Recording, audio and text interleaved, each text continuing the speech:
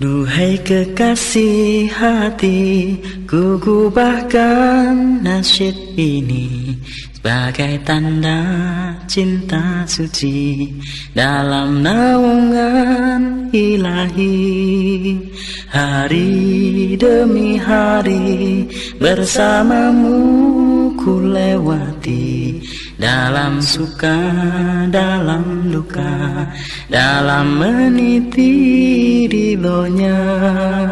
Ikrarkan bersama untuk tetap di jalannya.